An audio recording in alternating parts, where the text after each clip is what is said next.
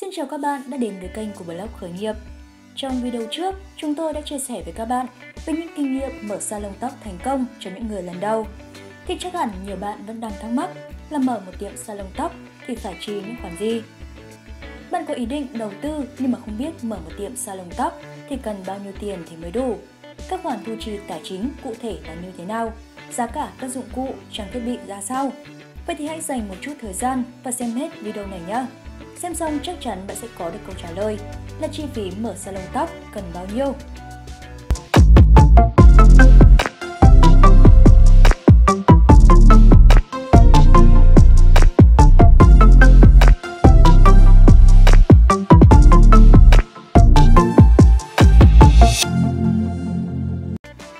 Sau đây là danh sách các đầu mục chính mà bạn cần phải chi trả khi mở một tiệm salon tóc. Chi phí thuê mặt bằng, chi phí thiết kế, tu sửa salon, mua sắm trang thiết bị, sản phẩm cho salon tóc, chi phí thuê nhân viên, chi phí quảng bá. Đầu tiên về chi phí thuê mặt bằng 8 đến 10 triệu trong một tháng.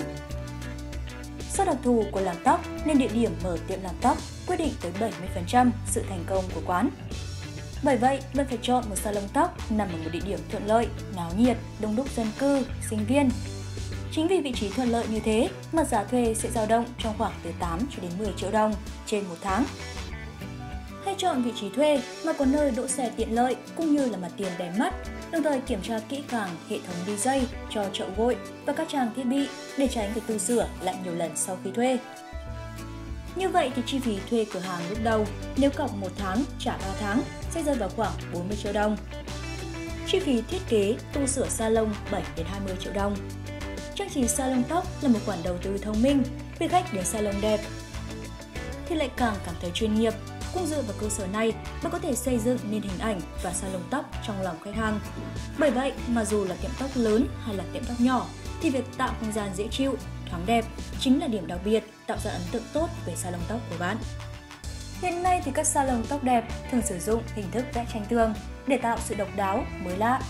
Do vẽ tranh tường để bạn tham khảo từ 3 triệu 500 nghìn đồng trên 10 m2 tương.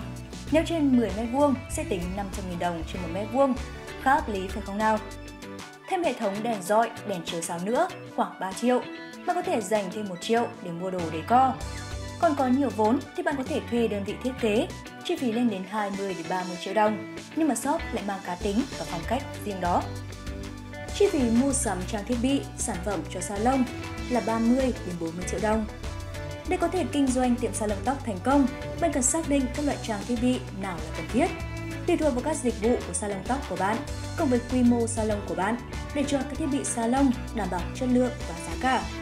Có thể kể tên một số trang thiết bị cần thiết là ghế cắt tóc, gương lớn, giá để đồ, giường gội, máy uốn, máy sấy tóc, ghế cho khách chờ, kéo cắt tóc, áo choàng cắt tóc.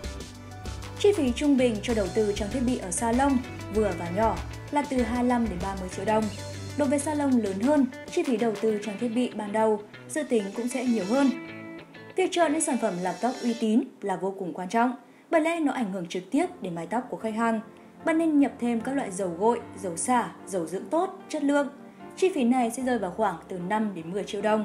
Các sản phẩm uy tín sẽ góp phần tăng thêm doanh thu và uy tín cho tiệm salon tóc của bạn. Chi phí thuê nhân viên 7 đến 10 triệu đồng trên một người trên một tháng. Khoản này thì sẽ tùy thuộc vào quy mô salon tóc của bạn. Hãy xác định là sẽ thuê bao nhiêu thợ làm tóc. Trong danh mục các khoản chi phí thì chi phí nhân sự chiếm khá nhiều trong các khoản chi phí hàng tháng. Nếu salon tóc của bạn nhỏ xinh thì chỉ nên thuê từ 1 cho đến 2 thợ phụ thôi nha.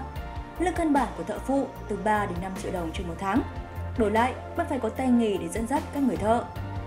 Còn không thì hãy thuê thợ chính lành nghề, thường với mức lương từ 7 đến 10 triệu đồng trên một tháng. Đối với mô hình tiệm làm tóc lớn hơn thì có thể xem xét số lượng nhân viên sao cho phù hợp nhất nhé.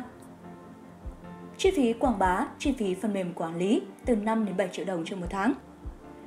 Để có thể tạo dựng được thương hiệu tiệm salon tóc của bạn thì không thể thiếu các công cụ marketing online.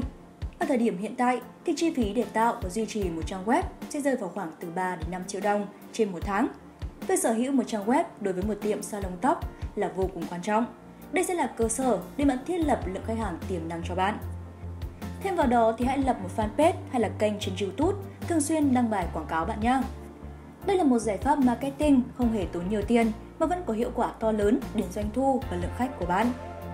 Về phần mềm quản lý thì hiện nay có rất là nhiều mà có thể thoải mái lựa chọn nhà cung cấp dịch vụ.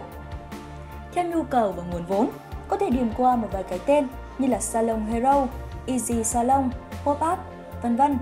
Với số tiền bỏ ra từ 1 đến 2 triệu đồng là tiệm salon tóc của bạn sẽ vận hành một cách trơn tru và đông khách. Ngoài ra còn phải kể đến các chi phí như là tiền điện nước cũng như các chi phí hàng tháng lặt vặt khác nữa. Về khoản này thì bạn nên chuẩn bị thêm từ 5 đến 10 triệu đồng là hợp lý nhá. Vậy là để có thể mở một tiệm salon tóc thì số vốn ít nhất mà bạn cần phải bỏ ra thì rơi vào khoảng 80 đến 100 triệu đồng. Chúc bạn có thể mở một tiệm salon tóc thành công và đông khách bạn nhé. Cảm ơn các bạn đã theo dõi video này của blog khởi nghiệp. Hãy nhấn like, share và đăng ký kênh để nhận được những thông tin hữu ích nhé.